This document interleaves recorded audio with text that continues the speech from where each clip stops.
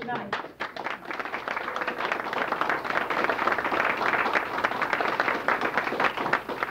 Maybe a little bit autobiographical on how I got into this question of drama. I didn't, in, in the beginning, I actually didn't know why I was doing it. Uh, but I've attempted, uh, through the course of many years, to write history. You know, I studied the history of the labor movement, I studied the history of, as Therese said, Rosicrucianism. And what, when you study history, and you, you and you're not just going to be an academic or make a living at it, but really try to understand what happened, what really happened, what made people do what they did in that in that moment of history. It always borders, always, on classical drama. In, in other words, you're always led to, and every period of history, by the way, does have something called a punctum saliens.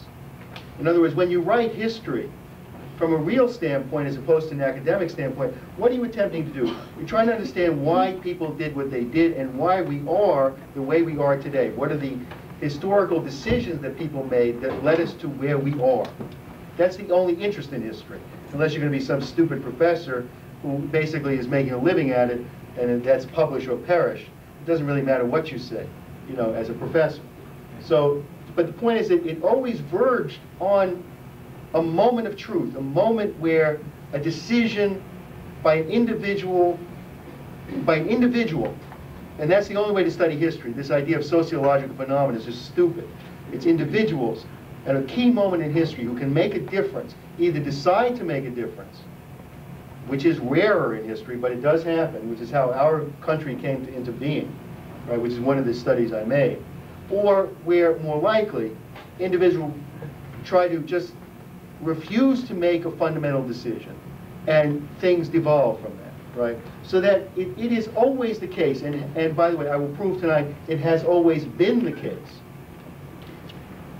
that what the, what, uh, that, that his, that, that tragedy comes from uh, an individual attempting to conceive of why things are the way they are, as opposed to have just a sense certainty view that it is what it is, and it happened yesterday. Okay? So that, so that, and that to write real history always borders on the attempt to write classical drama, always. All good histories must have certain principles of classical drama. Schiller, in writing the what, uh, uh, history of the Netherlands, has, if you read this, classical drama. One of the reasons that Schiller became a dramatist, uh, and Shakespeare, and I'll prove tonight Aeschylus and others, is that they were first and foremost historians.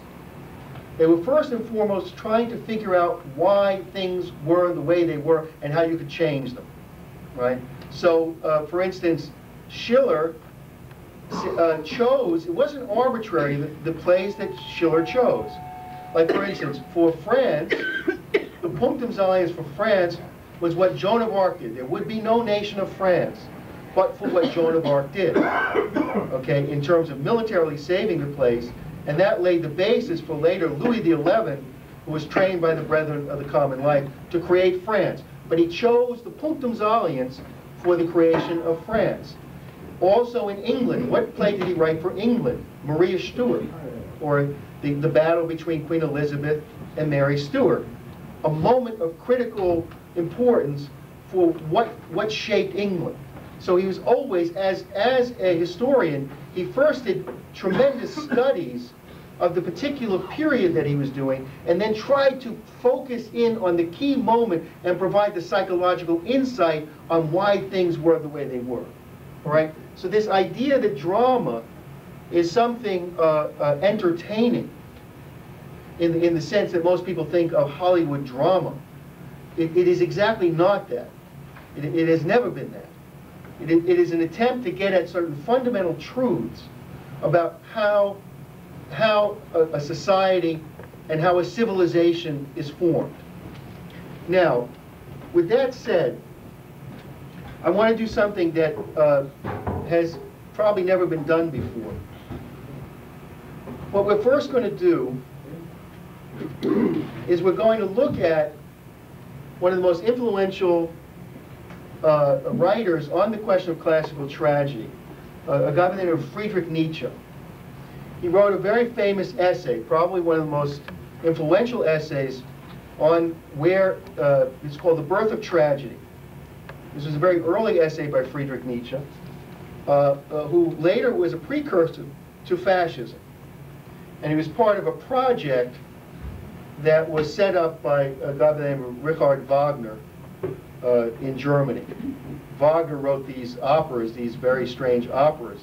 Um, and uh, we, we used to have a joke. Uh, they used to, they, these ring cycles, they're playing the ring cycle. Now, each of the operas is three hours, right? Just, uh, but there's three of them. So it's a nine-hour opera. Uh, and, uh, and the music is terrible. Uh, I, I, guess uh, a guy named Samuel Clemens, Mark Twain, once said of Wagner, he's not as bad as he sounds. uh, so the so the joke was that that uh, you know we we would we we went out in front of the Chicago. Uh, Therese was with us. Uh, we we picketed because this was the precursor to fascism. We picketed the the ring cycle, which was being played in Chicago and I was on a bullhorn. I said, well, you might walk in, but you'll goose step out, right? That's what I was shouting at the top of my lungs. Uh, and, and some, some wit came up to me afterwards. I almost got killed there too, but anyway. Uh, the, uh, some wit came up to me afterwards and said, you got, you got it wrong. Get him on the way out. Then they'll really be angry at Wagner.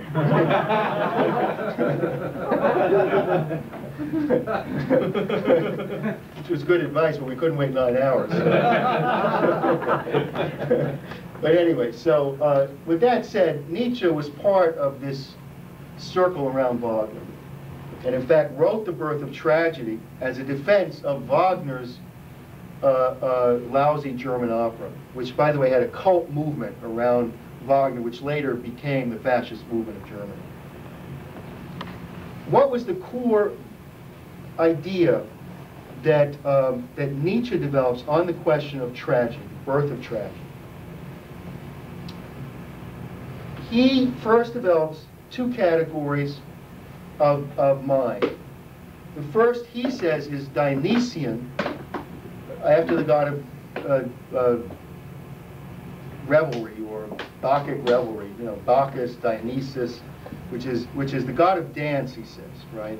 which was, I mean, he was the god of dance in Greek mythology. And then there was Apollonian, which was, which was uh, what he said the Doric uh, architecture, very, very structured. You know, one was very structured, one was completely unstructured. You know, wild, orgiastic dancing was Dionysus, and Apollo was the one who created uh, an architecture. But he said that fundamentally the drive for classical, for tragedy, came from Dionysus, right? That, that, that the, the actual drive for tragedy is that tragedy was based upon a certain conception of, of reality. What was that conception? He develops it in Greek society from what's called the myth of Silenus. Silenus was supposed to be the uh, philosopher who trained Dionysius. Okay? Now, Silenus, King Midas, of, you know, you've heard the Midas touches kind. King Midas, the story goes, wanted to find out the secrets of the universe. And what he did was he set out to find Silenus and beat it out of him. okay. So they got Silenus, and Silenus says, you don't want to know what the secrets of the universe are. Midas says, no, I do want to know. And Silenus cackles and he says, man, race of man, it were better you were never born. That's first best. But if you are born, it is better to die soon. Okay? Now, now this was this this myth of Silenus, Nietzsche says, was the basis of of classical tragedy or Greek tragedy. That this idea that in truth there was nothing that was real. There was nothing fundamental to the universe. And therefore, if mankind truly faced his, truly faced reality, he would say to himself, there is nothing, but I'm here. It's a precursor, it's existentialism. There is nothing, I'm here, and therefore my existence itself is an absurdity with, with respect to the universe. All right, which is the sun, and, and, and what Nietzsche says is that in facing that, quote, reality, the, the, the, the, that is where tragedy came from. That indeed, and in fact, there's a great defense of Hamlet in Nietzsche's work, uh, in The Birth of Tragedy. He defends Hamlet. He said Hamlet saw the reality. There was nothing to do. Right?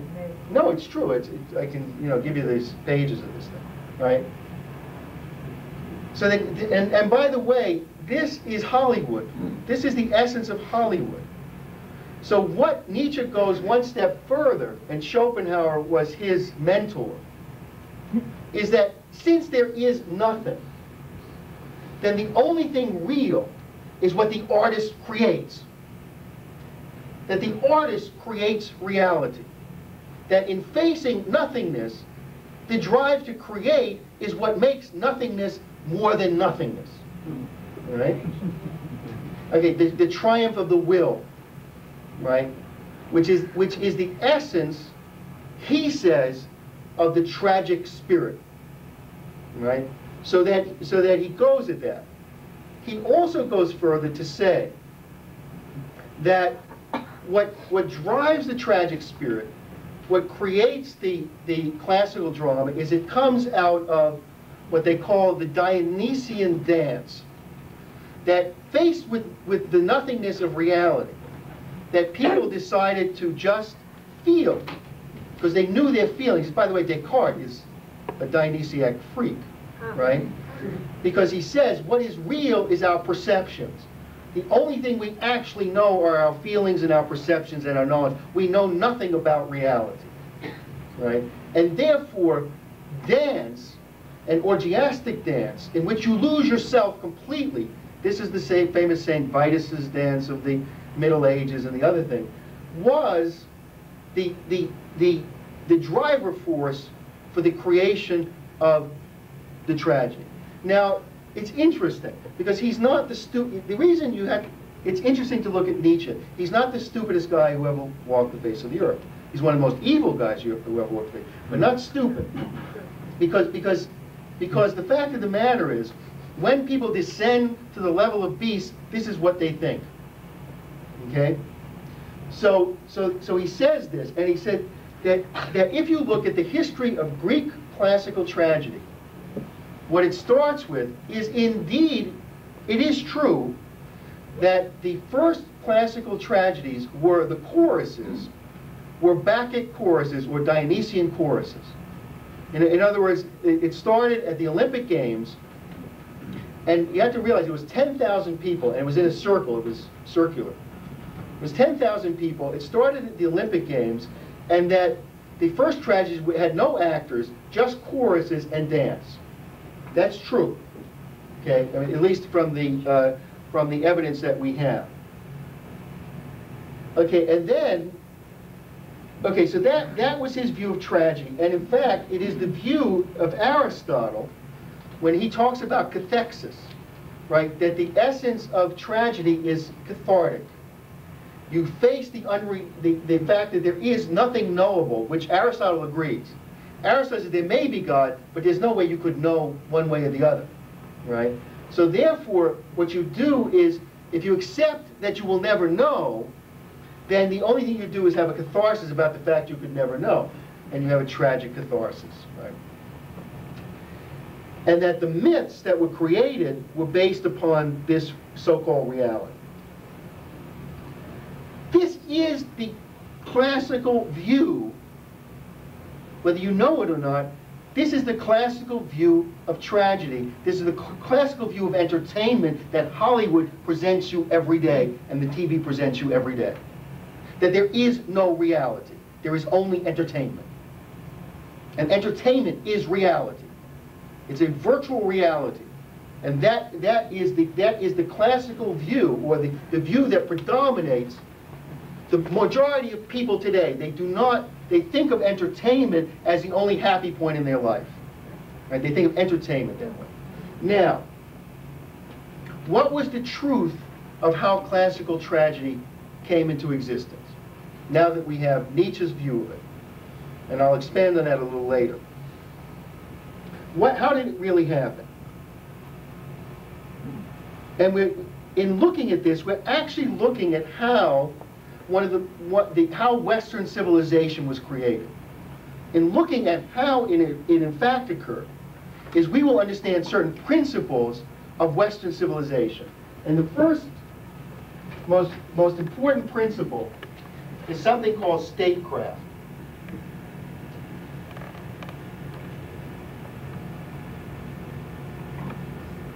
And it was created by the classical tragedy. There was no statecraft before classical tragedy. None. There was no view of a state. There was no view of a nation. Tragedy creates the basis for Athens. And I will prove that tonight. That Athens was a conscious project of the great classical tragedians. They created Athens. It was physically existing before the tragedy. But the idea of Athens, which created Plato, comes out of a conscious project of Homer and Aeschylus and Sophocles to found a society based upon principles as opposed to clans and, and clan warfare. Were, in other words, the, the, and by the way, Machiavelli understood this too. And we, we, we revisit this, by the way, in Shakespeare. Shakespeare creates anything good in England.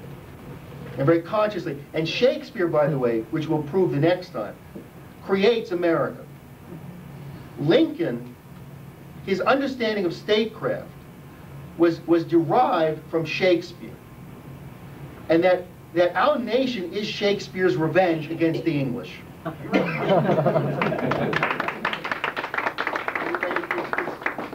very provable. It's rigorously provable. And that's what made our nation great. It comes from the great classical tragedians. Now, how did it happen? First, the, the first, the basis for Greek culture are two poems. One, uh, they're poems by Homer, uh, the Odyssey and the Iliad. Well, the Iliad and the Odyssey.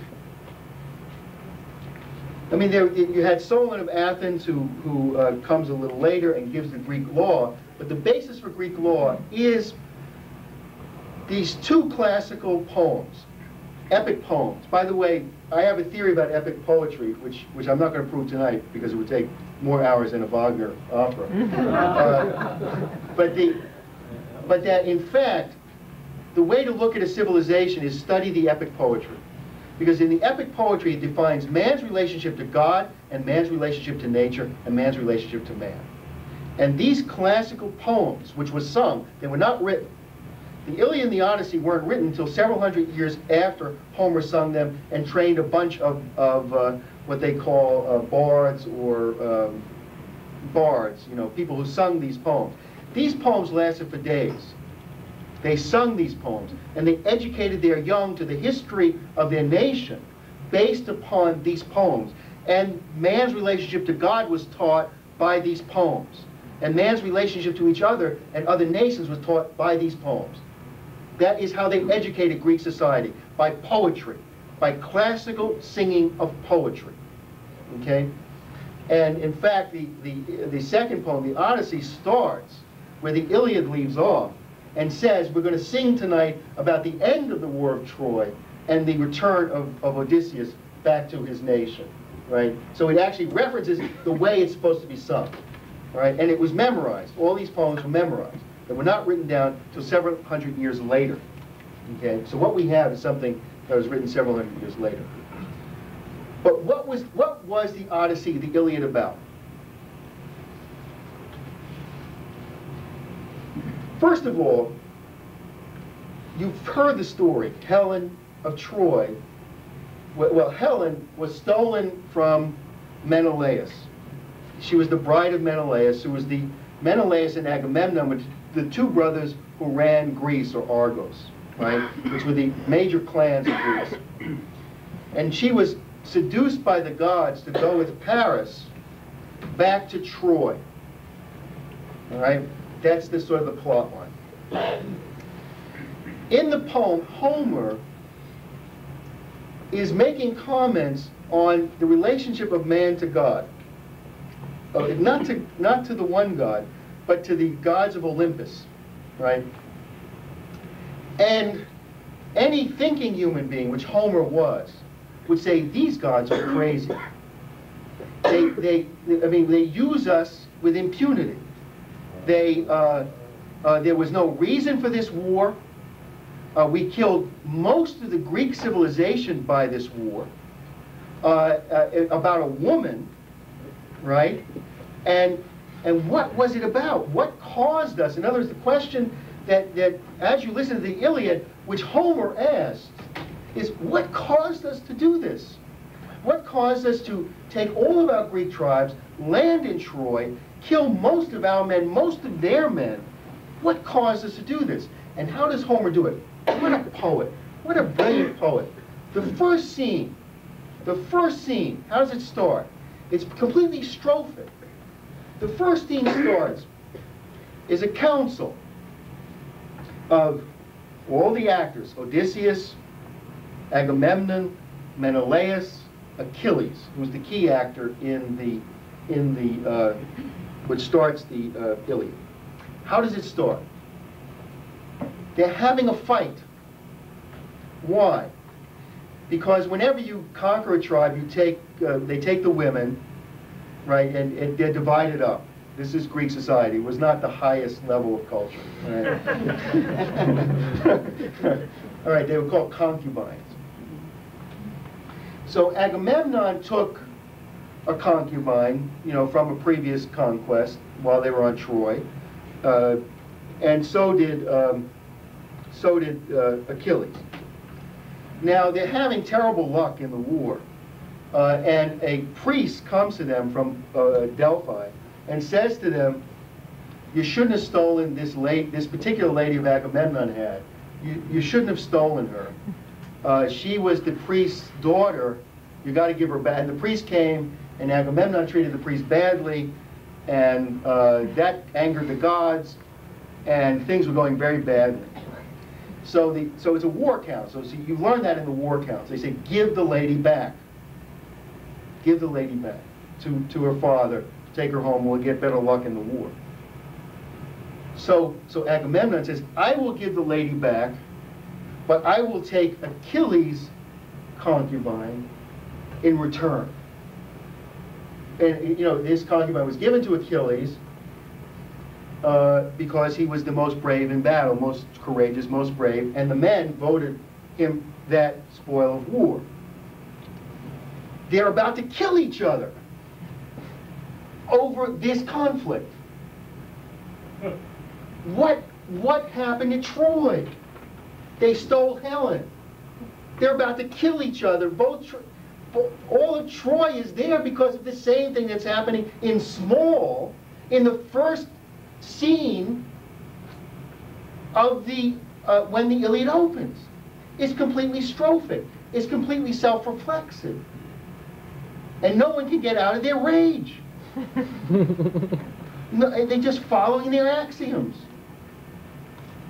And so, so it starts like that. It's really supercharged. I mean, it's quite a poem, actually. Uh, and, and then there's accidental deaths and murders and slaughters and, you know, things like that. All right, now, Homer begins to make a very ironic comment, but you can't make it directly because because they'll kill him. I mean, you cannot mock Olympus. Uh, that was a no-no. So what he did was by posing the story as it unfolds, any thinking person listening to this would say, maybe they're not so perfect, these gods. Right? And I'll tell you why. He sets up the problem. He says, maybe they're not so perfect. And the, my scene is the most riotous scene where he's totally ironic at this point, is that uh, Zeus is supporting, ultimately, Zeus gives victory to the Greeks. in the 10th year of the war, ultimately. But uh, he promises, because Achilles has been offended, he promises Theaetetus, who was Achilles' mother, who was half god, half human, or she, she had a, she had Achilles by, she's goddess, Achilles had a human father. Anyway, it, it's a little strange, but anyway, the, um, but anyway, so Theaetetus visits Zeus and says to him, my son has been offended, uh, I want all the Greeks to be wiped out, and at the last moment they got to come to Achilles and he'll save them, right? So, so first thing he says to her, Theaetetus, what are you doing up here? I'm married. Hera's over there. She's going to be pissed off as hell. You know, obviously he slept with her. You know, and she says, get out of here. I know what you want. Just get. I'll do it, but get out of here. Right? So that's that's his relationship with Theaetetus. At the key moment in battle, Hera was supporting the the Trojans. Uh, wants Zeus out of the battlefield so Hector can kill all the all the Greek all the Greeks. Hector is the Trojan, the head of the Trojan army. So she puts on Venus's belt. She gets all, you know, she, I mean, she just puts Zeus on fire, ducks behind a cloud. Zeus can't hear or see anything. He's completely consumed. They fall asleep. At this moment, the Greeks are getting killed by the, by the hundreds, right? Mm. Hector's killing all the Greeks. You know, now anyone looking at this thing, and this, anyone looking at this thing would say, this is so capricious, this is so uh, crazy. But it happened. The, the irony was, and this, this is the critical element of what actually happened at Troy. Now, the, I'll tell you a little funny thing about the British on the question of Troy. The British are famous uh, for, for messing up everything archaeological. to present their own views of history. They don't really, they never really wanted to dig to find out whether this thing actually happened. So the British always said Homer was a blind poet, made the whole story up. Now, a guy named Heinrich Schliemann, who was the great German, the guy who really founded archaeology, and he was a good friend of Humboldt and others, studied Humboldt said, no, Troy happened, and I'm going to find Troy. So he went to Turkey, what is now Turkey, figured out where this thing would be, dug, and he found Troy. This battle and what happened actually happened. What Homer was describing was actual battles, actual, you know, they said three times around the wall because it was a, it's an interesting story. Schliemann was led to believe there was another city, and he said, uh, and he and he figured out through the poem how big the wall was that Hector and Achilles ran around three times. He said, "This is too small, this city. This is not Troy," and it wasn't. He actually dug in another place and found Troy, exactly the dimensions that were mentioned by Homer in in the uh, in the Iliad. Anyway, Schliemann shows which what what ensued was a dark age that, that the Greeks were killed, the Trojans were killed. Ultimately, they, they got into Troy, killed everybody in Troy, razed Troy to the ground, killed every male in Troy except one, Aeneas. And the myth goes Aeneas escaped and founded Rome, right, which is the Aeneid, yeah. right? So he was the one Trojan who escaped and founded Rome, and of course Athens was founded in a, slightly different way. So the, so the Iliad, what happened was, in fact, was a dark age ensued in all of Greek society, in all of, uh, all of Western civilization, after the fall of Troy and the return of the, of the, uh, of the uh, Greek troops, many of them did not return, which is what the Odyssey is about. A dark age ensued. Uh, and you see this, he shows that the levels of civilization had lost beautiful pottery, had lost uh, much of the uh, uh, ornate capabilities that they had, and even language had degenerated. And he shows that in the different scripts and other things of Greek language, that, that there was a depopulation after the war, there's a pestilence, and that Greek society got wiped out. So Homer was writing about something that everybody would have wondered what happened right? What happened? We, we got destroyed about this, and it happened. So this was a real question for everybody in Greek society, okay?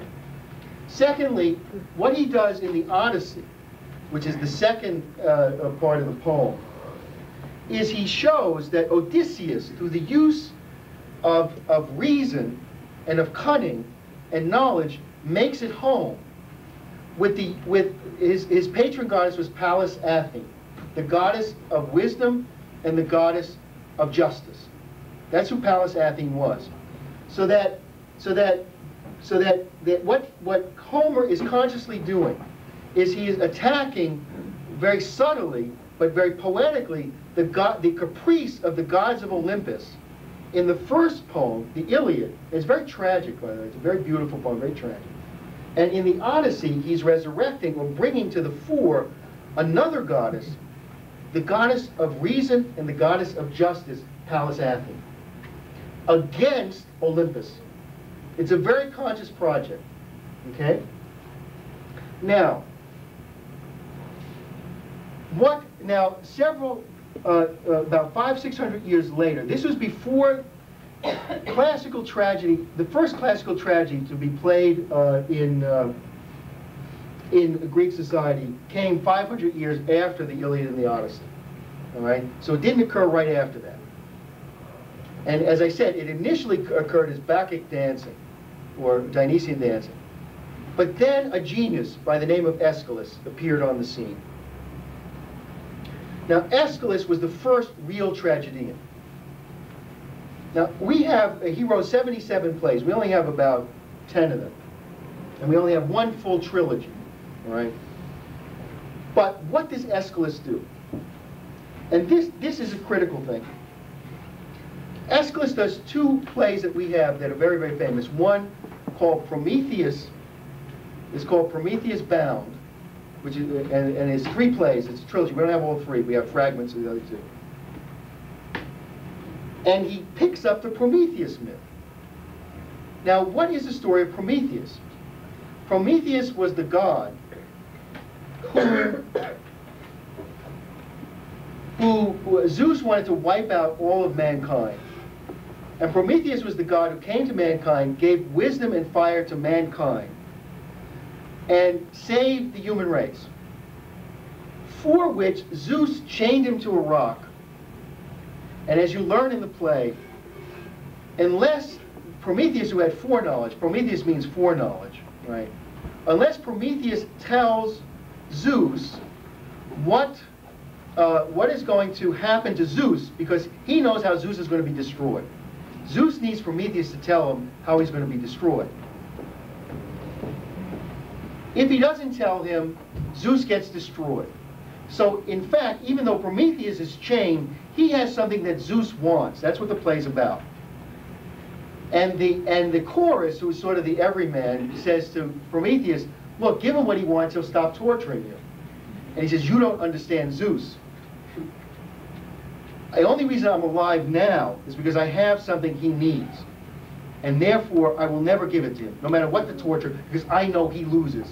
And he knows he loses. Right? So, but now look at the audience watching this play. Now remember, you have to understand, this is not your normal play, all right, that you go to the theater and sit off.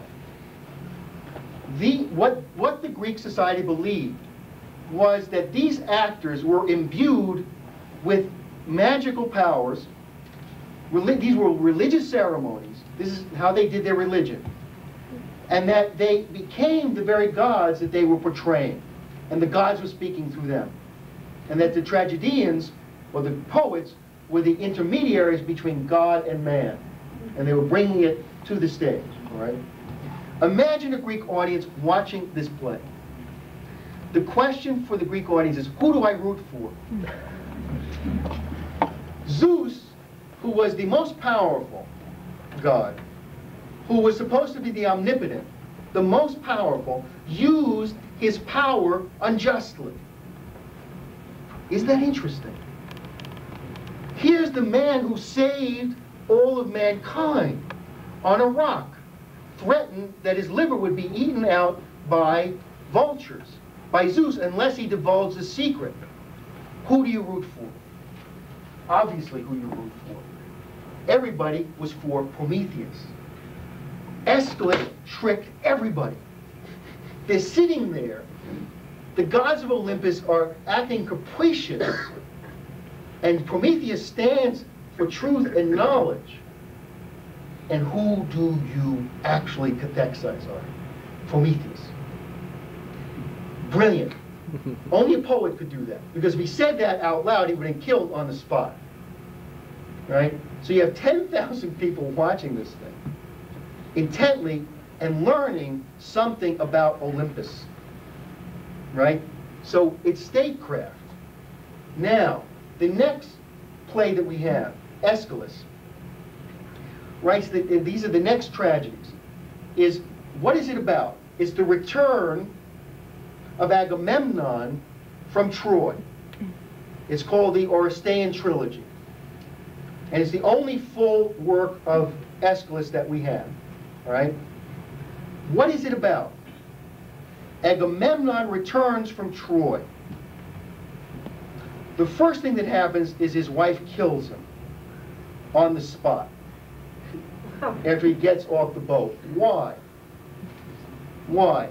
Because in order to go to Troy to have this war, Iphigenia, the daughter of Agamemnon and Clytemnestra, had to be human sacrifice. The gods of Olympus demanded human sacrifice of his daughter to get the ships to launch to Troy.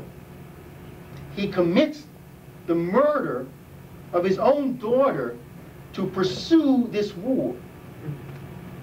Clytemnestra obviously never, he, he broke the bounds of family, right? One of the most fundamental, most sacred laws of the universe, right? The unit of action of all society is the family unit, right? So he had to commit an unnatural act to start the war, right? To get the winds to change in this thing. So when he comes home, Clytemnestra, who has a lover at that point, waits for him and kills him. Hmm?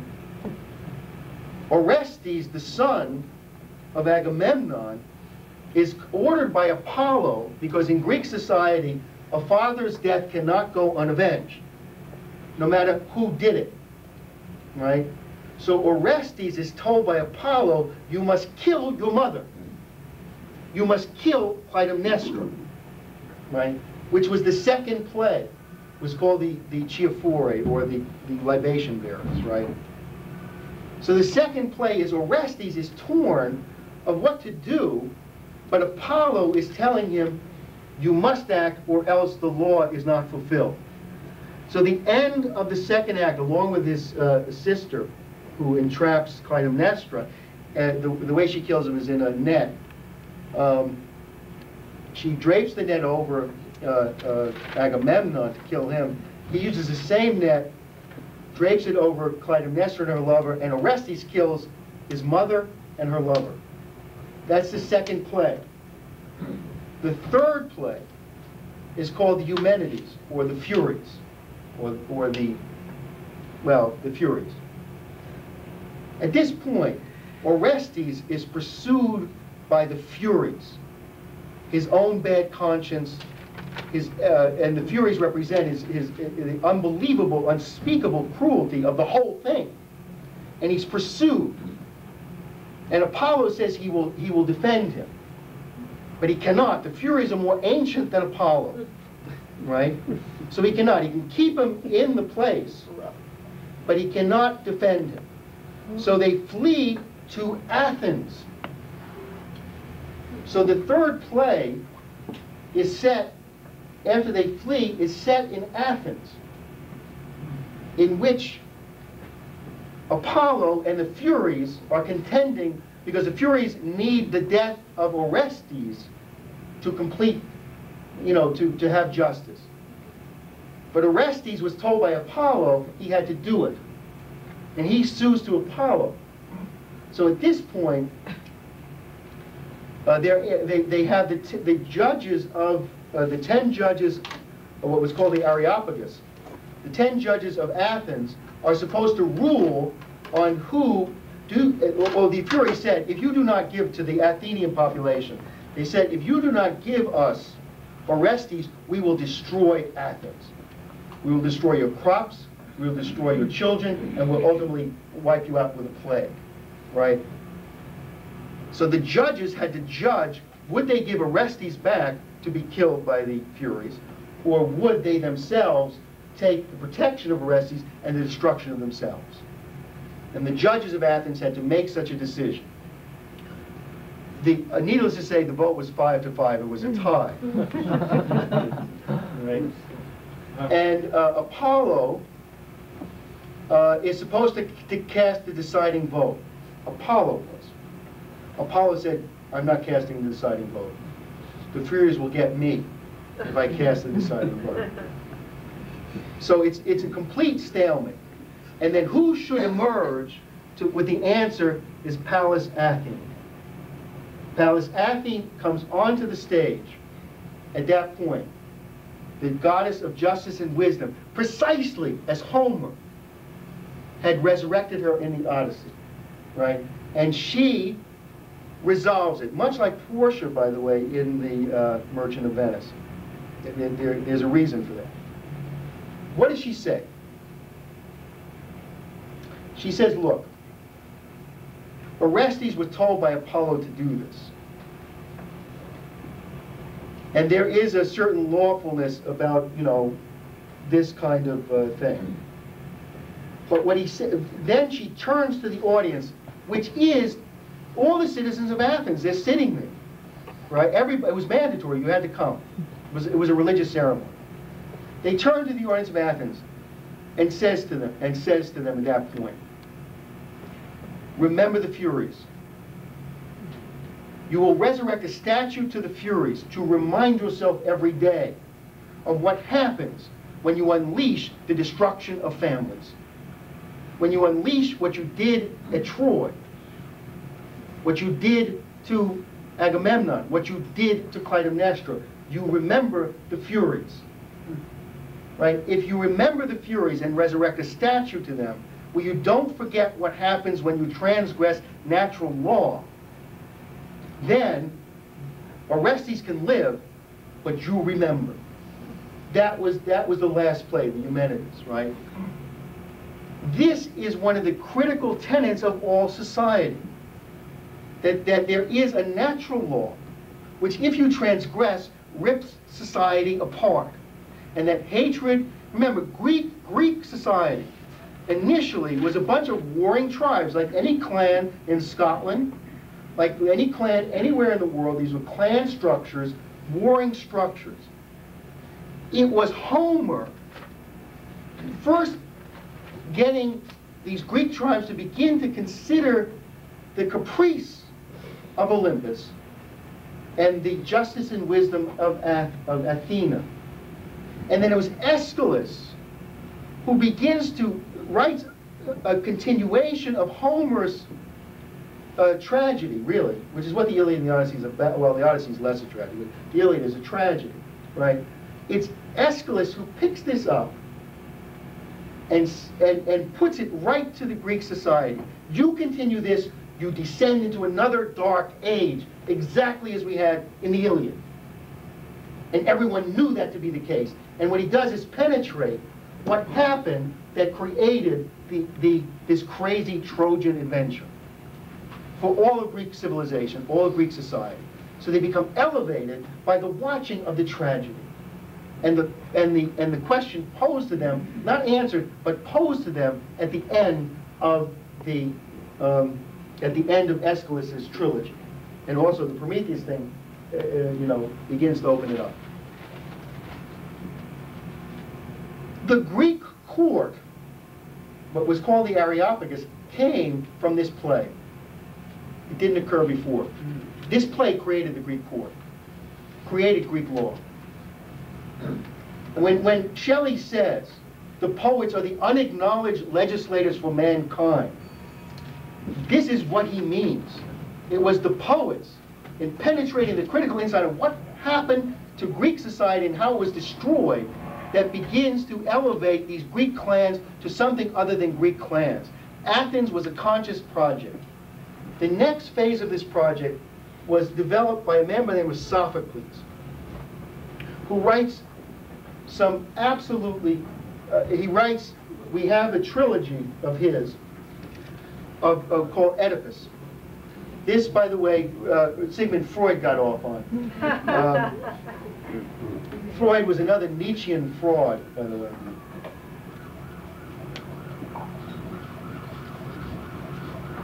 Now, now, what is Sophocles doing? First, I'll give you a little bit of the, the story of Oedipus, which also happened. See, the interesting thing about all these myths, they all happen. They're put in mythical form, but they all happen. The very famous story of Oedipus was that he unknowingly married his mother, killed his father and married his mother, completely unknowingly. Um, which Freud has, you know, really has a great time with. Um, now, it's one of the most tragic stories of all of Greek society. Oedipus at birth was told that his father was told that his son would kill him. Uh, so what happened was that Oedipus, uh, his father ordered a huntsman to take the kid and kill him. The huntsman could not kill the kid. So he bound his feet, set him in the woods to die. Somebody picked him up and brought him to another king, and he became uh, a royal prince in another, in another kingdom, right? Because the huntsman just couldn't kill the kid. Now, Oedipus later finds out from the Delphic oracles that he is slated to kill his mother, I mean, kill his father and marry his mother. Now, he thinks the people he's living with is actually his mother and father, which they are not.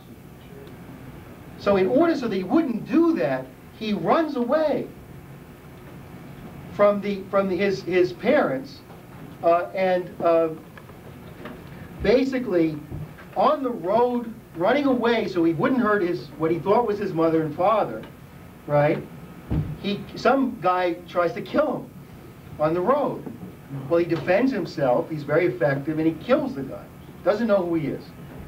Then on the road, he answers the riddle of the Sphinx, goes to, to Thebes, uh, and uh, because he answered the riddle of the Sphinx, and the Sphinx is going to kill everybody in Thebes, and he saves them all, he becomes the king of Thebes. He has to marry this woman, right, who's left, whose husband is dead. They found him dead on the road.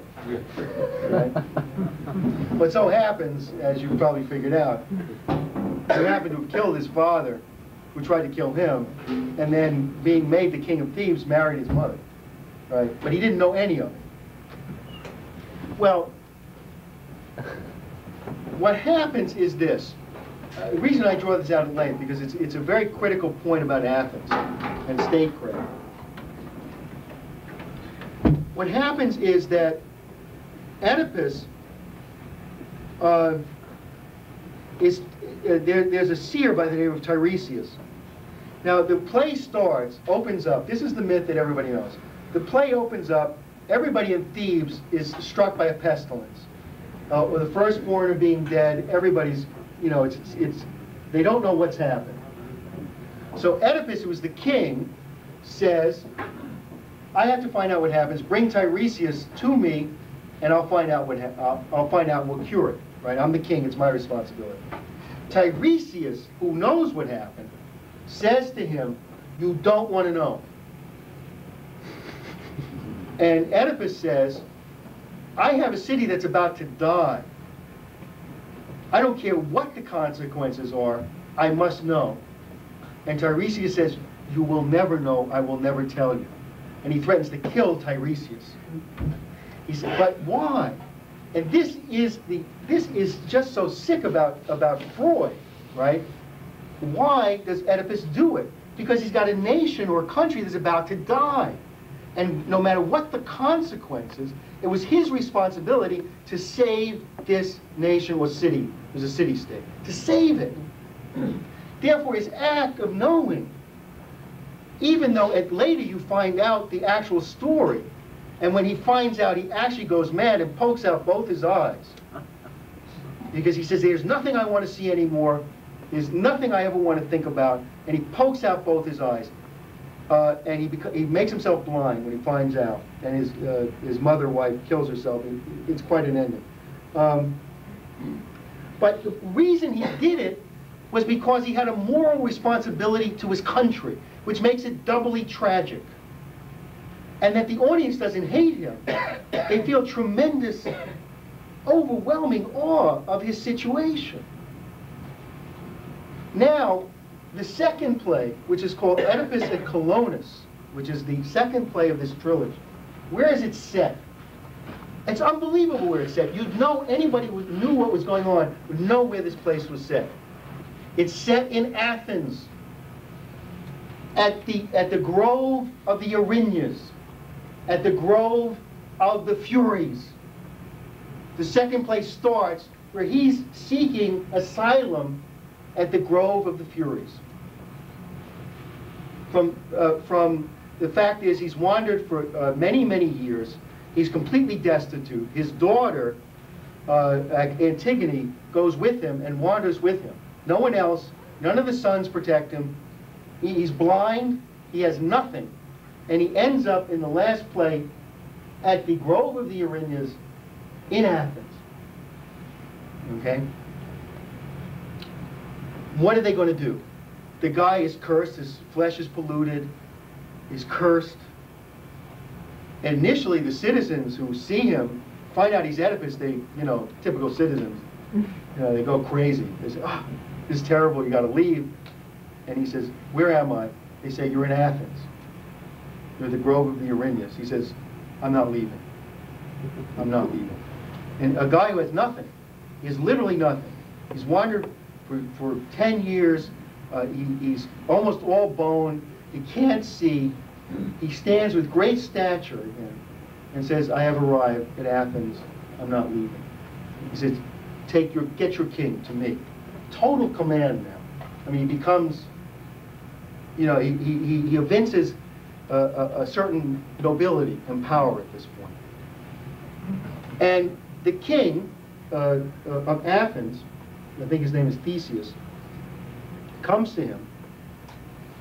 He, he says, I'm, I'm Oedipus. I have nothing. But will you take me? And the king of Athens says, yes. He knows nothing, he knows the whole story, and he says, yes, we will take you, we will defend you. Right? What, what an image. What an image of justice. What an image of truth. Right? What an image for all Athenians to be proud of. Right? And this, by the way, was uh, Athens was going down at this point. And Sophocles is writing to give them a sense of who they were and what they represented. Right? Now, now Oedipus is now the Creon, who was the former, who's now the head of Thebes, is the brother it's sort of a complicated name, he's the head of Thebes now, Creon, comes to, the, the, the curse is, which Creon finds out about, is that if Oedipus does not die back in Thebes, Thebes will be defeated by the people who take Oedipus in. Oedipus did not tell the Greeks that.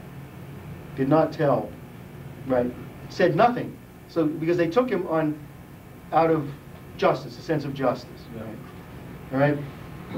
So now uh, the, the, uh, the Thebans under Creon steal both Antigone, Electra from uh, uh, Oedipus. Now he's got nothing. His two daughters are stolen from him. And they want to steal, uh, they want to steal Oedipus back. You know, to stop, his, he cursed his two sons. Sort of complicated story, but anyway. Um, now, what happens? the, the head of, of uh, Athens says, we will use the full power of our nation to defend this penniless beggar. He hmm. came here, he sued up for peace, and I don't care who he is and what he did. I have given him justice, and the full weight of Athens will be behind him against a threatened war against a very powerful nation. Right? So how does it end? It's beautiful. Because they did that, Oedipus tells the secret to uh, the uh, head of, of uh, Athens. And Oedipus does not die. He becomes a holy man. And at the end, he, he is somehow taken up, right, to heaven. But this is so different than many nations uh, that Athens became a center of an idea of justice and truth based upon, ironically, the fact that Oedipus, who came to them penniless with nothing, gave them a great secret truth. So the metaphor for everyone in Athens was we're special because we don't just react, we don't hate, we use our power for justice, right? So Athens becomes, through these tragedies, through these classical, uh, uh, several of these classical tragedies, the Athenian population becomes uh, a great exemplars for uh, justice. Okay, very consciously though, from Homer, Aeschylus, and Sophocles. All right, now what is the essence of statecraft? Where do we get our idea of statecraft from? And all the great plays always, in some sense, reflect this theme. Is that if you merely react on the basis of one tribe or one hatred or one axiom against another as percussive causality, right, as your axioms, then you will hate, revenge, all these things occur. But if you start from the standpoint of a higher one, a higher truth, something more universal, then man can transcend their circumstance hmm. of what you would naturally think, right? And become greater than their destiny, greater than what you would normally think. And that nations are based, the, the essence of nations and nation states are based upon this idea of statecraft. That a nation is not a collection of individuals, of, of individuals. A nation is an idea, an idea of justice, a, a unique idea of justice because different people have different predicates of how they would do it. But that always an idea of justice, not an idea of revenge. The revenge motif, which was normal in society, which is normal in our society today, right, is what rips societies apart, what destroys nations, right? And that the purpose of classical art, and particularly in this sense, classical tragedy, is, is nation building, is to convey a higher idea by using what people would normally do and force people to a conclusion that they wouldn't normally get, right? And that Athens, I, uh, Athens is created, and I can prove it, Athens is an idea created on this idea of statecraft, this idea of a rejection of the destruction of what happened in Troy, the destruction at the hands of the Olympian gods, the resurrection of Pallas Athene, justice and truth, and that a nation was trained on these fundamental principles. That is what civilization is most people have no idea what we mean by civilization. It didn't occur naturally. In fact, naturally, what happens is you get these clans. So what Nietzsche does is he takes the initial sort of clan dancing, really, what, that's what it was initially, and he says that's what art is. That's what it means. When what he rejects is the fact that civilization is the creation of great men and women who have a great idea about the destiny of man. And that great idea about the destiny of man is what civilization is, is what classical art is.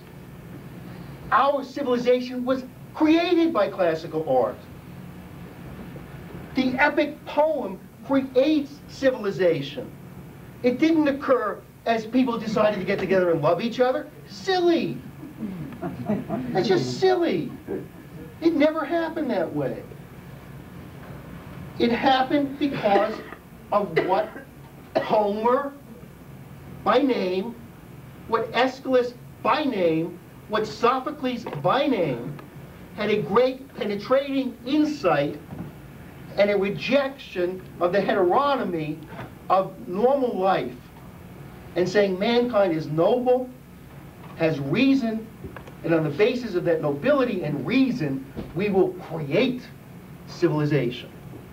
This is what Shelley meant when he said that the poets are the unacknowledged legislators for mankind.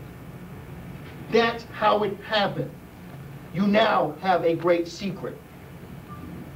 That is how we got civilization. It came from the great classical poetry of the, of the, and the Vedic hymns in a different setting. In a different setting. But that's where it came from.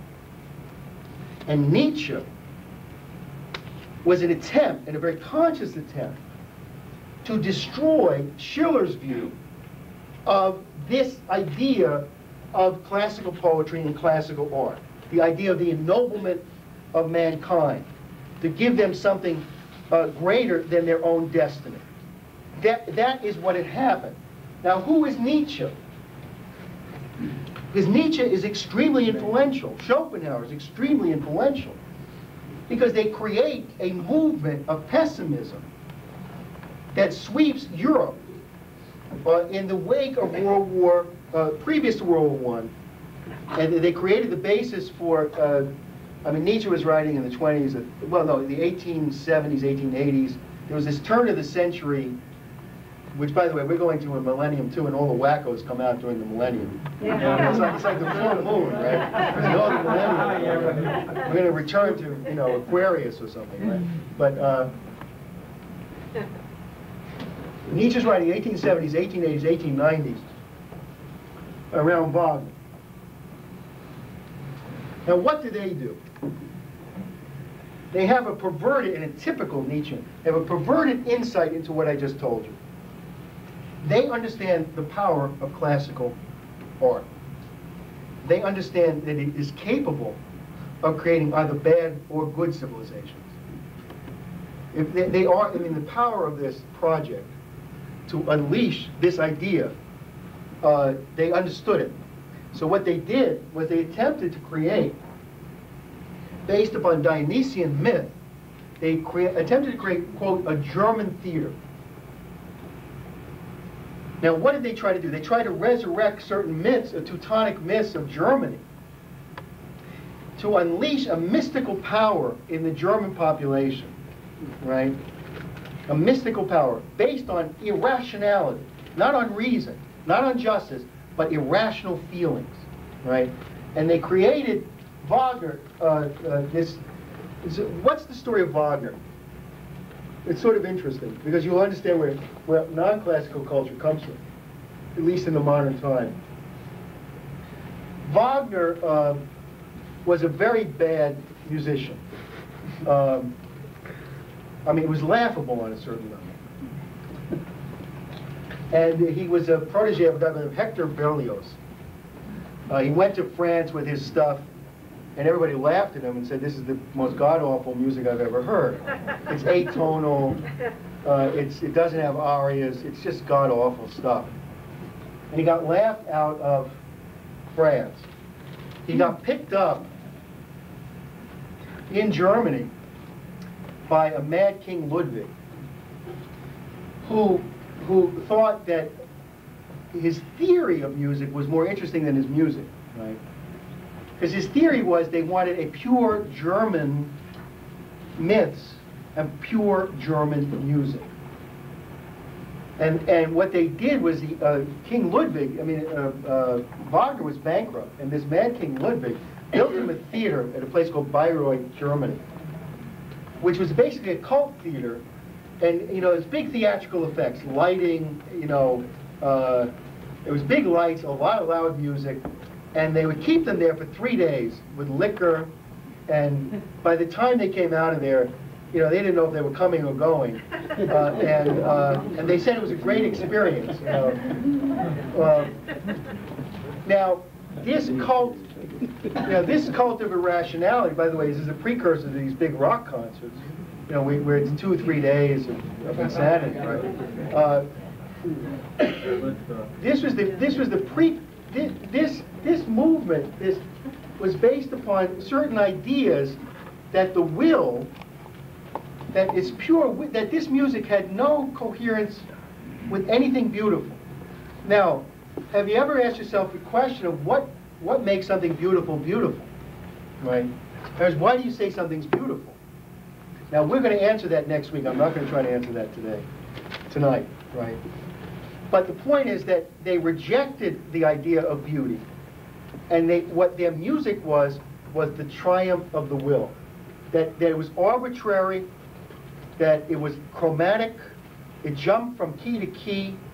Uh, there was no beautiful arias, uh, a lot of loud arias. Oh, by the way, a lot of sopranos and tenors lost their voices during these things. Uh, you know. Uh, but it's completely irrational and out of out of order. Now, out of this theory, the, the attempt to create an attack on this idea of, of um, an idea of beauty, an idea of truth and beauty, which we'll go through next week. This attack on truth and beauty became the bellwether of 20th century art.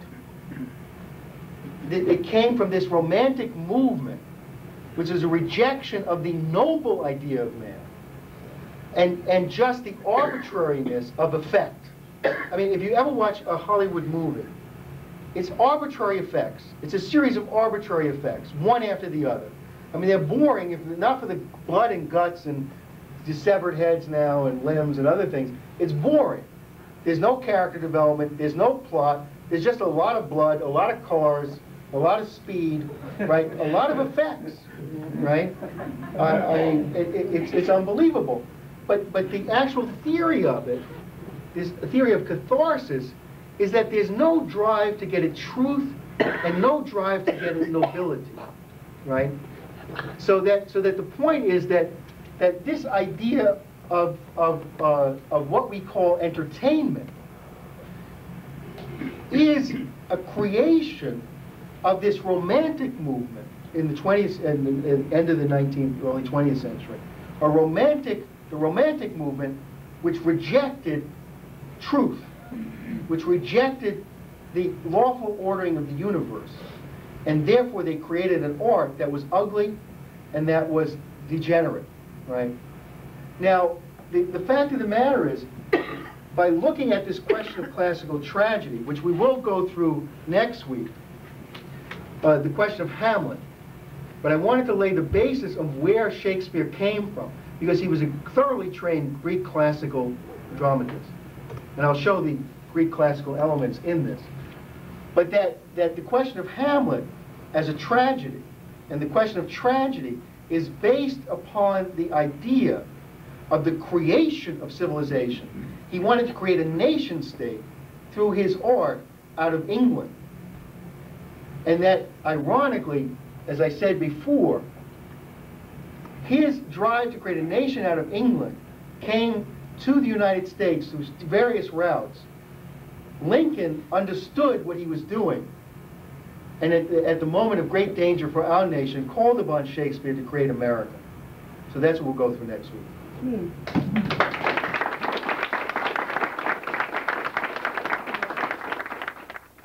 Yeah. I was uh, reading in National Geographic. This guy is, you know, his uh, famous, uh, he made a, made a bunch of uh, Castles. castles. Yeah. And one of them is the model for uh, Disneyland. You know, I had a, I had the good fortune of listening to your classes in Pittsburgh. And there is, you obviously, there's, there's some different ideas you develop. And one thing that, that really struck me is, is the, the question of the family. And uh, your con, your reference to the family on, on, in a number of times, which I didn't, maybe, I didn't fall asleep during your previous class, I was watching a video, but there's the, um, We were only head-on shots, they were very boring. Right. The thing that struck me, in light of of Elvin's presentation at the National Conference on the Pagan Religion, Yes. um, that, that in fact, to what, ex- uh, you know, we, we take it almost for granted, I mean, even in this increasingly dark age, that the family, you know, sort of an institution and so forth. But the Greeks were obviously fighting through this idea. Uh, there was, uh, you know, human sacrifice, um, uh, you know, revenge, killing, you know, the name of your family, you know, killing your... Well, even, even a family unit, you had about five or six wives. Right, five or six wives, or in the case... If you were of- victorious, if you weren't, you were a slave. Right, right, and then, and then the fact that, you know, the, the, the idea that, that his wife killed him after he killed the daughter, and he had, he, he- she had five or six husbands maybe on the side too, you know, you know, sort of, Rarely, a little bit Mormon-like. yeah. Um, but the, I mean, would you care to comment on that? Because it definitely, in light of the pagans, you know, the Canaanites were heavily into this stuff too at the same time period. Um, and in, in, in the modern, and then also in, in the so-called Hebrew culture, you had this multiple, you know, this bigamy, polygamy question.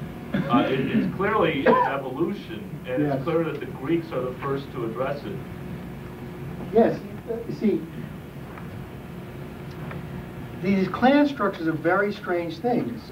They, they, um, you know, I mean, it would be an interesting study. Remember, Marx wants to go back to the clan structure. You remember this community of women, communism, is to break down the idea of a family unit, uh, which was a return to paganism. You know, the community of women, this kind of thing. It was all pagan religions.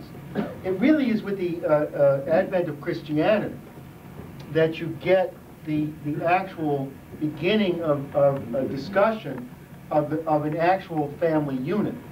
Uh, and because it is the, the natural reproductive unit, uh, and more significantly, it's the unit of nurture uh, to absorb a culture, right? To absorb the totality of a culture and, and the backup for the young child uh, and knows who he is or she is, right? Uh, but you know, this is critical. This fight. I mean, I'm not you know a big women's liberationist, but it really is true uh, that uh, with the with the concept of marriage, in terms of this idea of a woman who was completely intellectual, who took full responsibility for the human race. Uh, it was Mary was a rejection of this idea of women as uh, really uh, you know, chattel slaves, uh, really in these pagan cultures. Uh, so that uh, there are some significant women, certainly Caesar's wife. Others were fairly decent, but they're they're rare and few. Uh, even in so so that I think there is something to it to be looked into.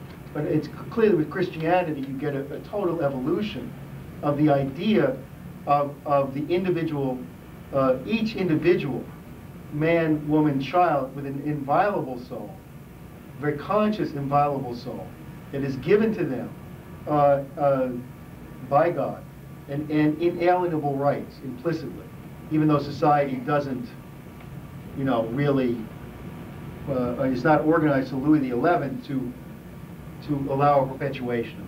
Is there a concept in, in, in, you know, what you've read in the Greeks, is there this concept of an inviolable soul other than Socrates and Plato in, in, in their dialogue? Yeah, that's pretty good, Socrates and Plato. Yeah, that's, that's. Well, look, I mean, look, what are you saying about Prometheus? I mean, Yeah. Prometheus is written by Aeschylus. What is Prometheus, what is the story of Prometheus?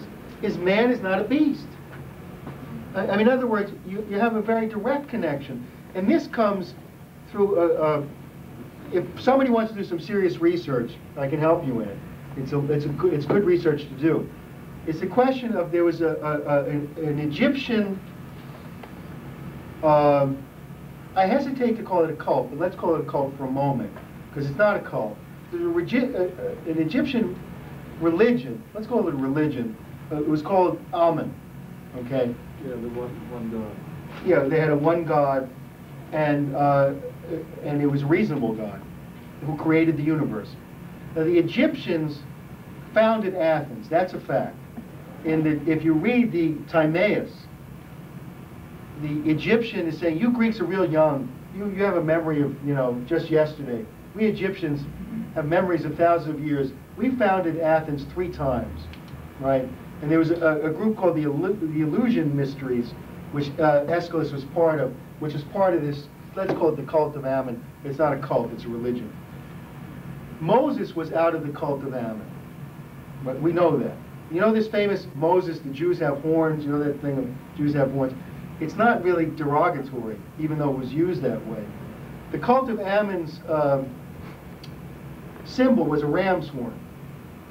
So if you know the Michelangelo uh, sculpture where uh, Michelangelo has uh, Moses with two horns, this is a symbol of Ammon, of reason. It's, it's really not a put down, although it got later into a put down. Uh,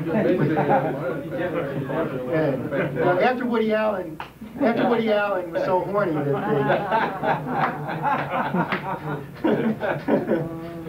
but anyway, the, the uh, this this Elysian mysteries and the cult of Ammon were the basis for Solon. Solon had gone to Egypt to bring back the laws.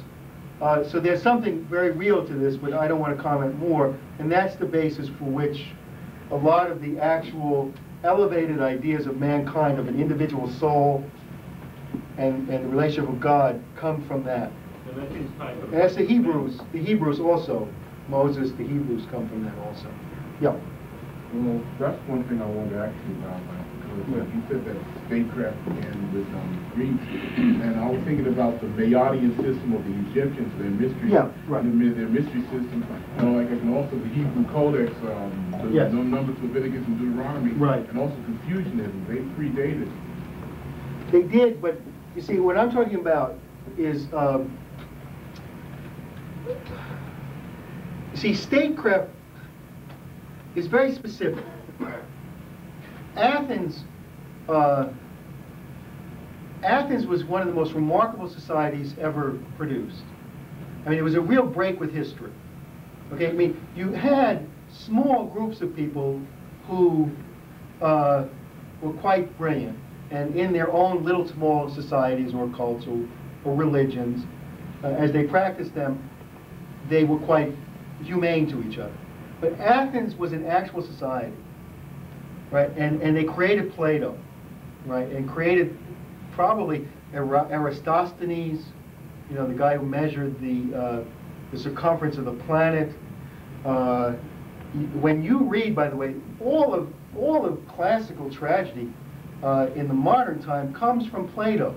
In fact, I would say all of poetry, if you look at Shelley, Keats, and others, are a reading of Plato, or commentary on Plato. Erasmus, a commentary on Plato. Cusa, a brilliant, brilliant commentary on Plato, right?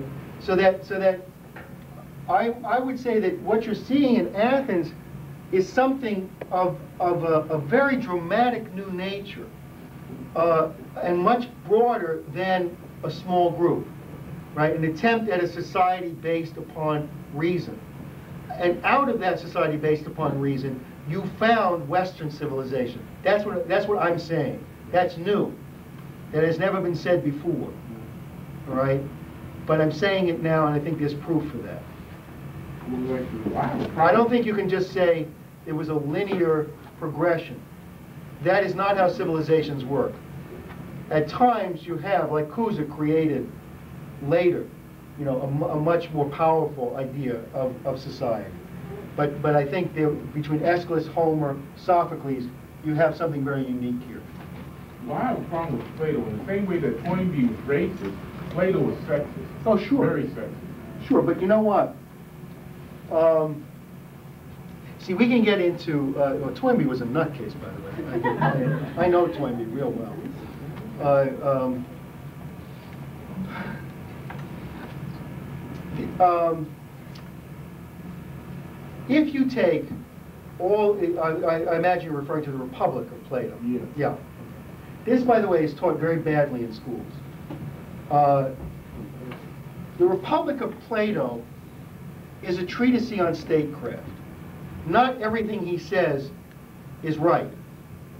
But the fundamental principle, remember the famous uh, uh, initial phase of the dialogue, where, uh, uh, what was that, uh, the guy says might makes right, what was his name? Thrasymachus. Lysimachus, right, says to Plato, uh, I have the power to destroy you, Plato, or Socrates really, I have the power to destroy you, and what I say is true.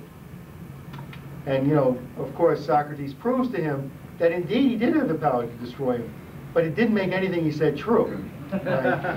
And, and that you cannot base a society on that kind of arbitrary power. So that the initial fundamental question posed in the dialogue is that issue of how do you get at the truth?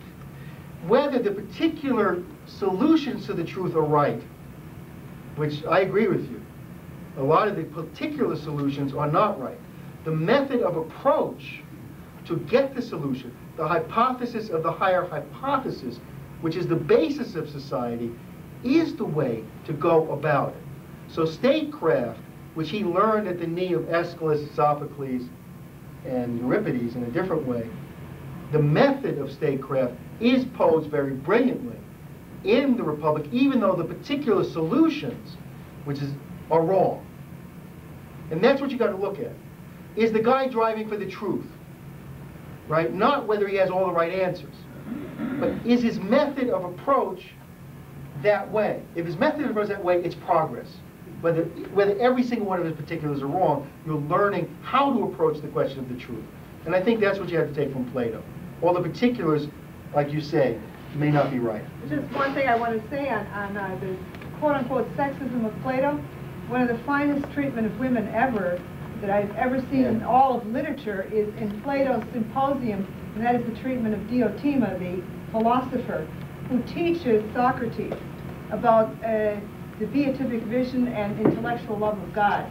So I, I mean, I would challenge that. And I think that uh, the problem people have with, uh, with Plato or any other kind of literature is they read it literally. And that's a problem also, the literalism, the nominalism in this society, it's terrible. I mean, you, people, people have lost the sense of metaphor, and I'd like you to address that. That's next week. Oh, I tell you, you want a, a two-minute answer on? Yeah, right. Tony? Yeah, can you explain exactly this whole concept of strophic poetry? Yeah, sure. That I can do without. uh, Metaphor's a little harder. Uh, Take root notes. Let's- Okay, let us take a, a different kind of look at this, because I, I was thinking about this um, from the standpoint of music, and I'll, I'll blow your mind on music. Uh, music is strophic. It's totally strophic. Now, what do you mean by that? You set up a theme, right? Now, let us take Hamlet, because we'll, no, actually, let's not, I'll do that next week. Let's take something else. Um, You, um, well, let's take the Iliad. It's a good example. All right, what, what is, what is the metaphor of the Iliad? What happens? Uh, about the Trojan War. It's about the Trojan War, but what's the metaphor, right? Yeah. The metaphor is, in a certain sense, Paris steals Helen, right? People knew that story.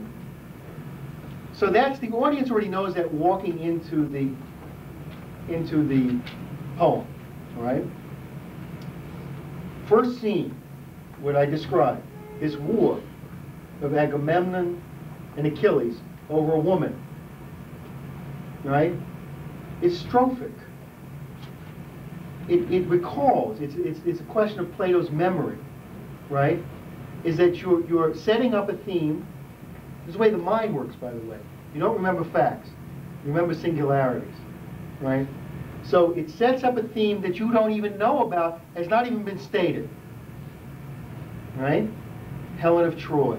And, you know, God, people wax eloquent about Helen of Troy. You know, everybody's talking. And you know that walking in. You're not aware, by the way, until you think about it, of what this first scene is about. It's sort of like, you know, the, all the, you know, all these Americans said, gee, how did it happen in Nazi Germany? Right? While they sit around watching Newt Gingrich run around. That's a metaphor. You know, everybody says, not my responsibility. That's how it happened. You know, I mean, it's, it's, it's a metaphor, it's strophic. It has a strophic quality in music. It's the same thing. You set up something, a, a theme, two, three notes, four notes. you're not aware that this theme is going to be reintroduced again and again and again with different approaches. And the theme becomes modified each time that it's been reintroduced. The mind works that way. The mind is not, does not work from the standpoint of individual notes or individual words or even individual concepts. They work as whole thematic developments. That's why you remember things. You know why everybody is so bad in school? Because the, the material is organized in an impossible way. Hmm. You can't memorize it. You can't remember it because it makes no sense. It's not strophically organized. The mind is organized strophically. That's why you can see LaRouche stand up there for four hours, or 10 hours if you like, and go. He remembers everything he's ever read. Everything. And not because he has a photographic memory. But, but, but he, he has an idea of what is called, uh, what he calls a musical memory. He memorizes from the standpoint of how does this relate to the, the whole, or how does this relate, relate to the absolute, and he remembers everything in that way. So it's strophic, and that's what, that's what we mean by strophic. And I think it's very nice to know that an audience walks in, they hit from the first second with something they know is the whole theme of the thing, but they don't know what's happened to them. And then they're forced to reflect upon it. How much better is Achilles and Agamemnon than Paris? And then you had to go to a higher truth, which is located in the audience, not in the play. And that's how you create an Aeschylus and a, and a Shakespeare. What does the word stroke, stroke or stroke? It's a structure, it's a, it's a structure. That's what it is. Yeah. What do you think? Yeah. Recording, it comes from strophic? uh, Yeah, yeah, it's a, it's a method of composition. It's strophic. That's what it means. It's thoroughgoing comp, it's what it means. Look, let me say it the other way. Uh, Steve and I were discussing this, maybe we can get him to give a class on it, it was just a brilliant discussion. Steve can actually prove to you that you remember the future. And that's, it's absolutely rigorously provable. You can, you remember the future. In other words, there's certain lawfulness to the universe. And that which coheres with the lawfulness of the universe, you, uh, your mind rediscovers that lawfulness. That's why you remember it. What you're discovering is lawfulness. You're not discovering facts. And therefore, all, everything that is true has a strophic quality to it or a metaphorical quality. Um, Yes. I have a question on, uh, uh, part of the reason I think that uh, great drama helped build uh, civilizations, and in this case helped build Athens, is because the Greek language was developed Right. by Homer, uh, Aeschylus, Sophocles, and even Euripides. And they, without them, I think that uh, Plato and Socrates would not have been possible because they could not have thought certain thoughts without the uh, development through poetry in the drama. Now, a question I have of you. I have a real problem with prose in drama. Yeah, it's a Uh. I, I, and I think that modern drama is all prose, and it's even bad prose at that. And whereas really great tragedies and great drama, up to Schiller, it was all in poetry. Absolutely. There was no distinction between drama and poetry in that sense. Yeah. And see, what I think has happened, and I'd like you to comment on, is the flattening, is the flattening of the ideas and the Of the language. concepts and the language. And I would almost, I don't want to outlaw prose drama, but I think it's bad. Oh, sure, I would outlaw it myself. The, uh, no, What is prose drama? oh, the death of a salesman is prose. Drama. Arthur Miller. Arthur Miller, I mean, and, um, Almost all drama written in the twentieth century. all drama written, I mean, And in the late nineteenth century. yeah. Uh, look, the, I think we're getting at something of, of what happened to language and the ability to read poetry. Um, and this is why Lyn screams about this punctuating, this, this question of punctuation all the time. Uh, the written language, uh, this idea of written language is a construction that uh, occurs later. The language was sung. In fact, Greek, Greek, uh, except for certain, they don't have any punctuation. None.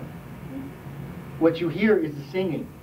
What punctuates it is the singing, and they knew how to sing it. So therefore, they knew how it would go. They don't have a sentence structure. They just don't. They have a tense structure, but they don't have a sentence structure. So it was sung. Now, the problem in, um, and I'm, I'm trying to figure out where this, you know, I mean, the real degeneration began. I mean, I, I think, you know, you had a certain rearguard efforts with Shelley and Keats in the English language. Uh, but uh, after Shakespeare, uh, nobody really achieved such depth. I mean, although Shelley and Keats made a good run for it. Um, now, what you had was, was an attenuation of the Italian Renaissance. Because remember, it's not just the, I don't want to shock anybody, it wasn't just the Brethren of the Common Life that created the Italian Renaissance. I mean, Dante created the Italian Renaissance. I believe the Italian Renaissance came from epic poetry. Dante wrote an epic poem called the Divina Commedia, right? I, I think that's what, that, I mean, it's not just the Brethren of the Common Life, I'm sorry. They played a critical role in, in, with Cusa, but it was, it was also the Divine Comedy.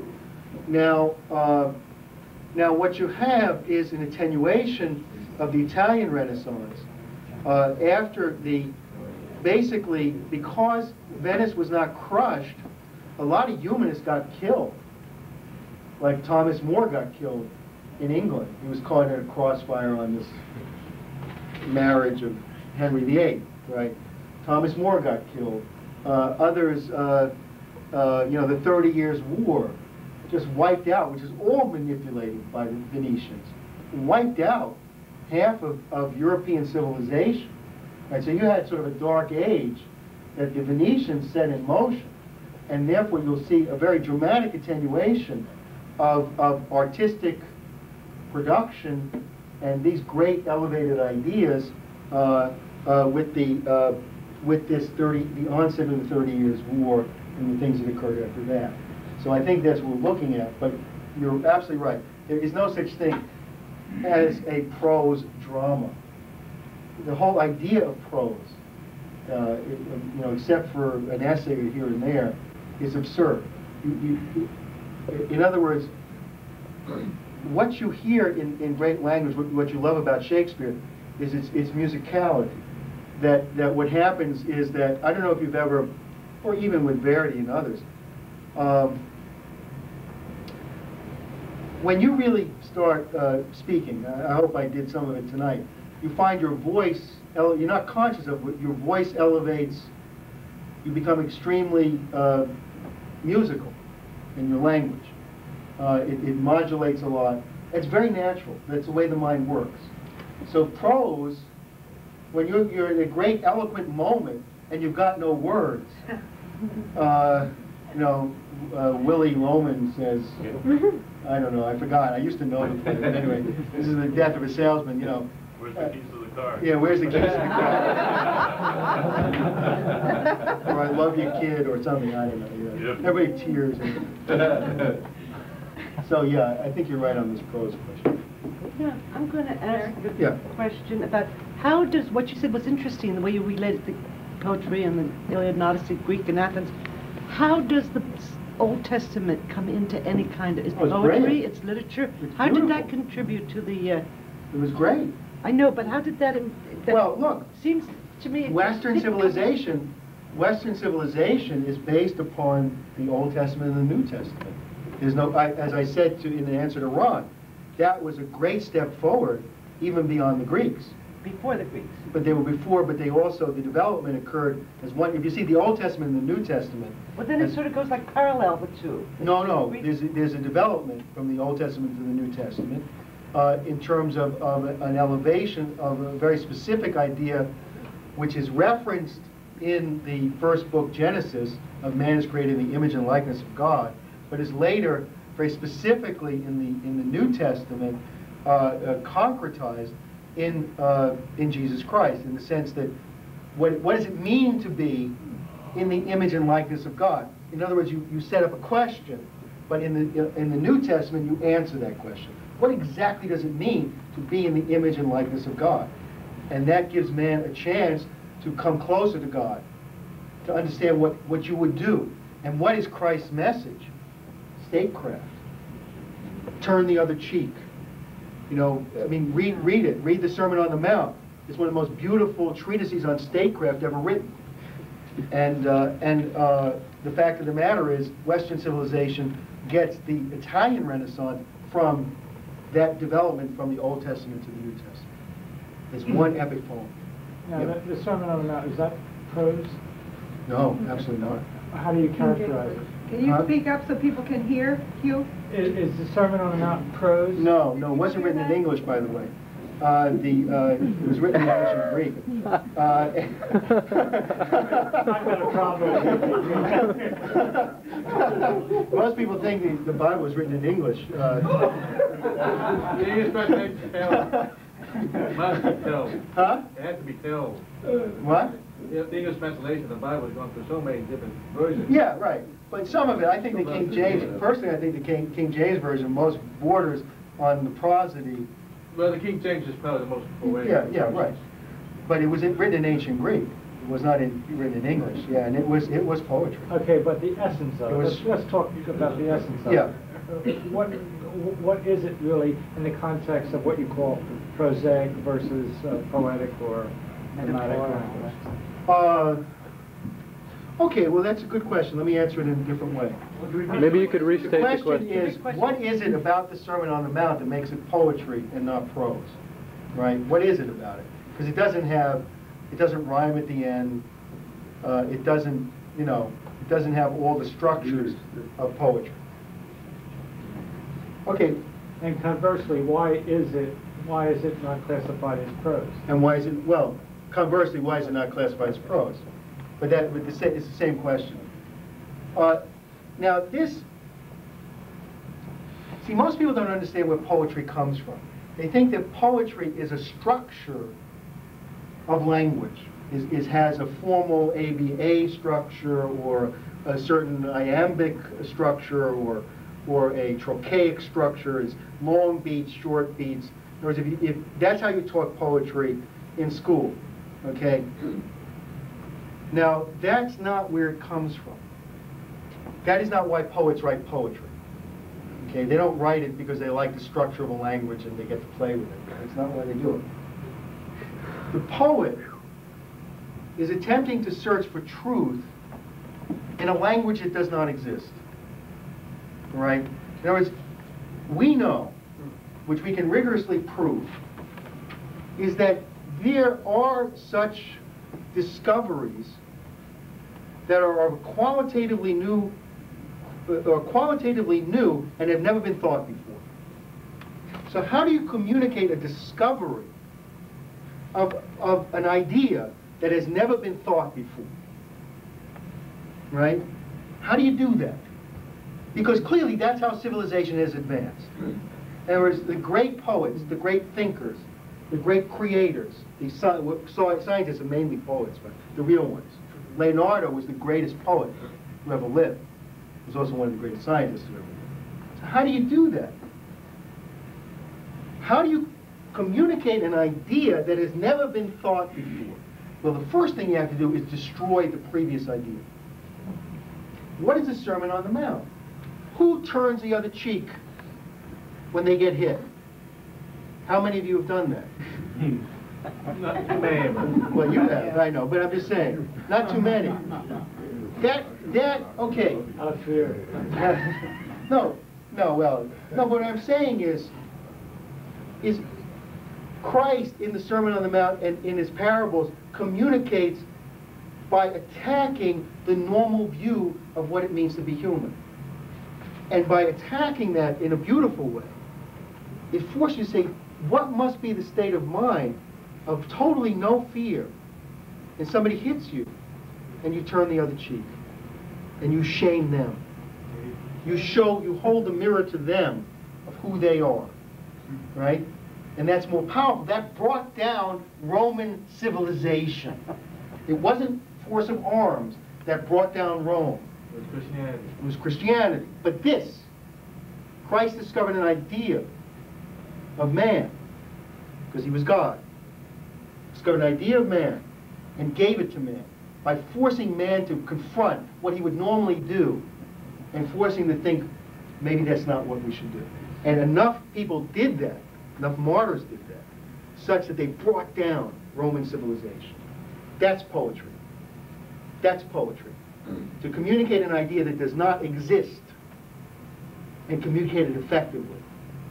Through would be metaphor. poets. Huh? The the Old Testament prophets would be poets. Yes, That's true. absolutely, Yes, no, absolutely. no, But he asked about the, he asked about the New Testament, so I answered him, yeah, Still, uh, yes, but that's where poetry comes from.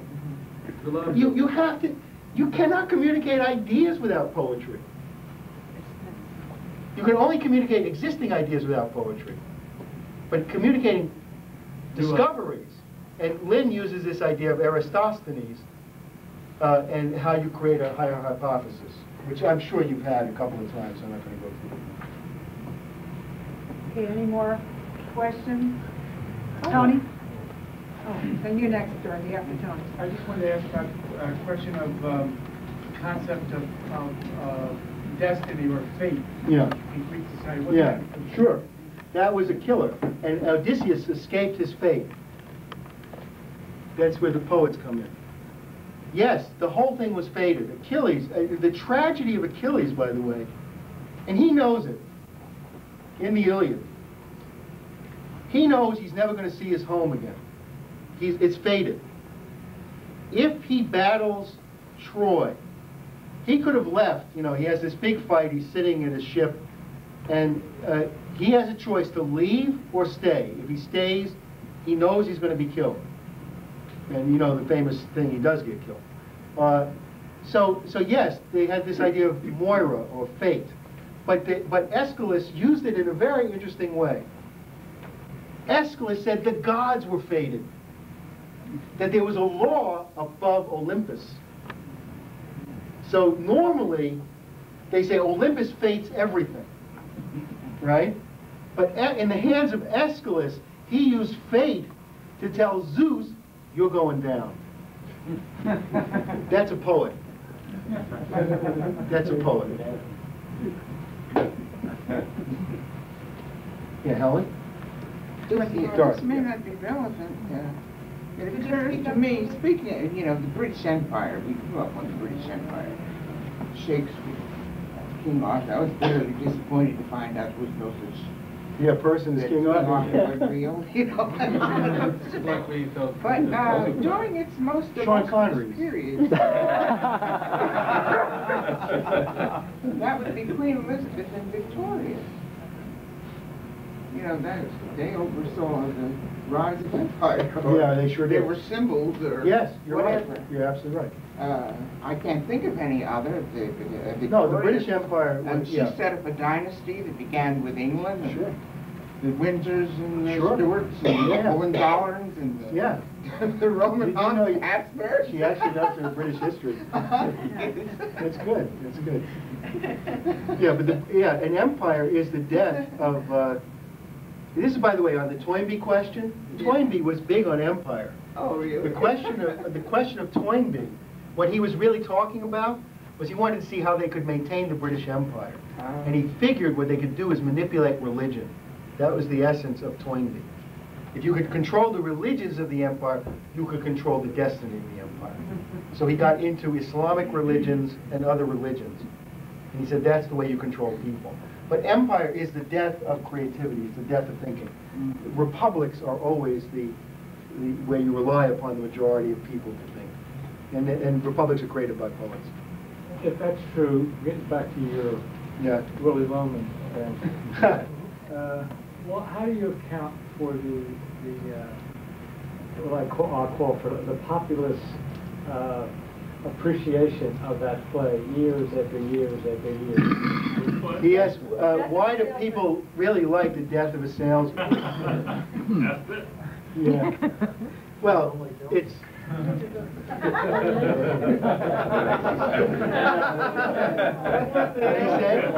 don't like Sal. People don't like Sal.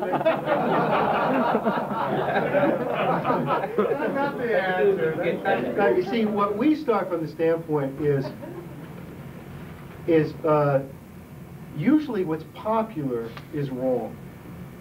All right? In other words, the fact that something is popular is because people have been so beaten down to believe that their image of life or the tragedy of their life is that they're small people who cannot change the course of history. That is the tragedy of Willy Loman. He's small. He's completely, he's set in a time outside of politics, outside of time. There's no heroes. There's no heroic quality to Willy Loman. And in the existential years after the war, when everybody was looking to duck the big issues, Willy Loman was their symbol. Willy Loman was the ultimate schlemiel. Uh, and, uh, Dysfunctional, leave it to Beaver. Because- No, because when we talk about heroes, we're talking about statecraft. We're You see, each human, you, and everyone has a responsibility for their nation. When they take responsibility for their nation, they achieve a heroic stature. The whole point of the classical Greek tragedy was every person in that play was thinking about the fate of their nation and what happened to it. And we have become small after the war. Lyn goes through a reason why everybody ran for the hills after the war, and, and we almost lost our nation. Now we're trying. Now we're a, taking it back, but we have to be big people, right? And only classical tragedy and, and only classical art speaks to that quality of being better than your fate. Or as Schiller said, dare to be wise, i.e., know the total. But where does goodness start? Does it start with a nation or the family? It's, you can't ask that question. It's both. It's both.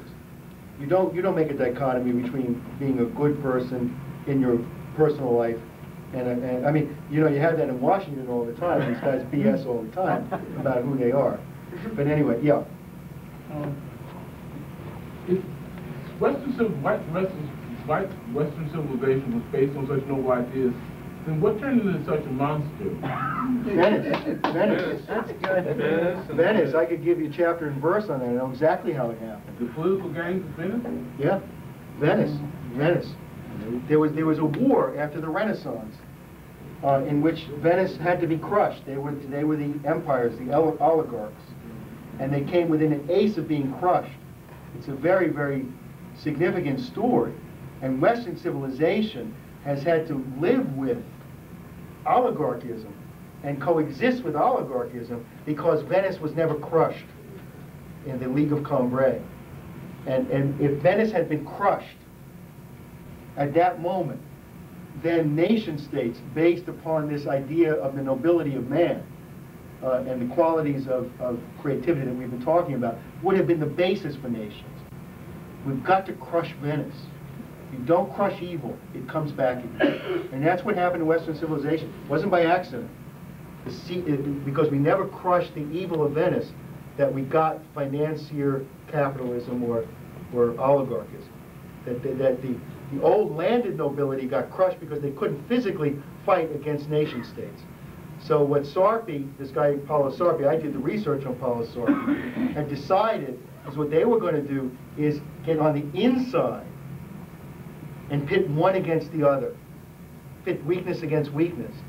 And therefore, Sarpi inserted Venice in the process of this nation state and never fought openly. The landed oligarchs fought the nation state openly and tried to crush it militarily. And as Machiavelli pointed out, you cannot crush nation states militarily. A nation state based upon uh, each individual as being noble is a highly effective military force and cannot be crushed by hiring mercenaries to crush it, which they learned. Sarpi was smart enough to realize, well, okay, we're going to have to do it differently, and we're going to bore from within, and we're going to destroy the, the fruits of Western civilization by destroying first the scientists with this method of empiricism. And if they can knock out the scientists, then the generative force is weakened. Well, what family in Venice, in Venice was the main leading in villain? Um, Contarini. I thought it was the Medici. No, Medici. Medici uh, was Florence. Different story. It was, there, there was, that was a tricky case, they were Florence anyway. But it's a tricky case. No, it's the, the Contarinis, the Morosinis, the, um, I, I, there's a whole book on it. We'll get it to you. Chiinis. But that's what happened. Yeah. Yeah, I wanted to ask you about this question of Dionysian dance, because it seems to me this is important, because it, it seems to me that the purpose of this is to create assassins, it's the cult of assassins. Yeah. And that every place Drugs. we see it revived in history, it's been at the center of some international terrorist or Sure. assassins. Like Mike Minnicino has this article on the Frankfurt School. Yeah. Where he describes Ascona, this commune in Switzerland, which is where every international terrorist related. And by the way, Margaret Gra- uh, Martha Graham came out of that. Yeah. The This is? Dionysian dance. It's Yeah. literally Dionysian dance. And it comes up again in Huxley and Brave New World. Isadora Duncan. Sure. There's always, along with Dionysian dance, there was always drugs and rock music.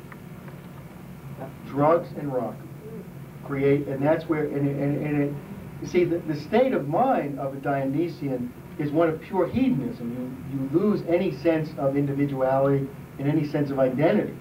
And therefore, you can create an assassin that way. And they always have, out of this cult, cult of drug, rock. So that's, yeah, absolutely right. Yeah. Um, on the subject of the, the uh, poetic form in, in these writings, Yeah. some people brought up the, the New and the Old Testament. And uh, just from a historical point of view, I know that Lyn fielded a question that was very into this whole idea.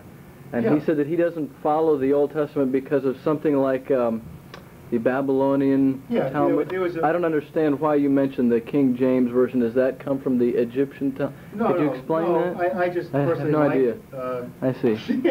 That was totally unclear to me. What yes. I understood the point of his answer, Yeah, but yeah. then What he his meant answer was that, the, that parts of the Old Testament, uh, they had taken all the Jewish priests into Babylon, and they rewrote parts of the Old Testament Mhm. under it under the it was called the Babylonian captivity, right. uh, and therefore it's suspect because a lot of the uh, stories were rewritten to reflect Babylonian worldview. So it's hard to tell which is which. So it's so you, know, you just I have to be careful. I see. That's really all he was saying. Okay. And I, you know, the King Okay. James Version is interesting because uh, I find the language uh, the most, uh, most rich, most capable of conveying, uh, you know. Yeah, some of that's the- true. The- Okay. the- the- So many different translations of the Bible. Yeah. In English language that totally lose one. Yeah, right.